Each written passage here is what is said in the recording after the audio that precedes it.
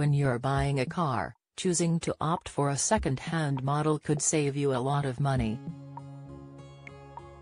And although they can come with their risks, it really helps to make sure that you're buying it from a reputable and trustworthy place.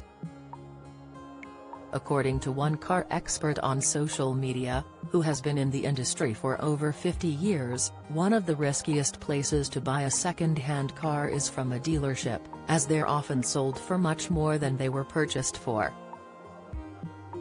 The advice was shared by mechanic Scotty Kilmer on YouTube, who warned potential buyers of the risks of visiting car dealerships in a YouTube video, The Express reports.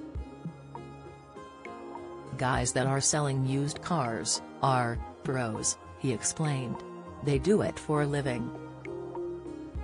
They want to squeeze every last dime out of the car, they have no personal in it.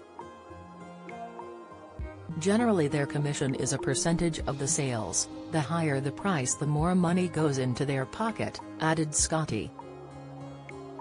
The dealers will go anywhere from two to four times what they actually paid for the vehicle, and they're gonna try to get you to pay. Dealers tend to have a lot of professional background in sales, so they'll wait until they get the highest offers for vehicles with good reputations. People are instead advised to buy cars from private sellers, as they'll likely want to get the money fast and not waste the buyer's time. In some cases, buying a car from a dealership may be your only option.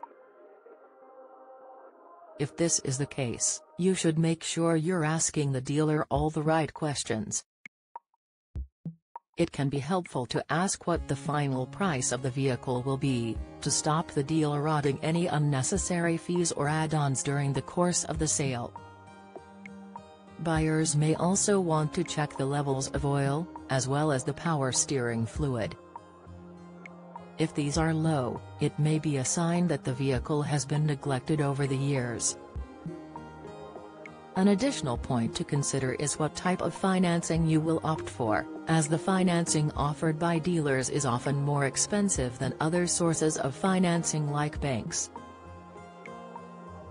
Join the Daily Record WhatsApp community. Get the latest news sent straight to your messages by joining our WhatsApp community today.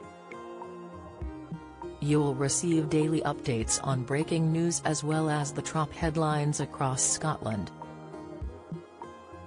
no one will be able to see who is signed up and no one can send messages except the Daily Record team. All you have to do is click here if you're on mobile, select Join Community and you're in. If you're on a desktop, simply scan the QR code above with your phone and click Join Community.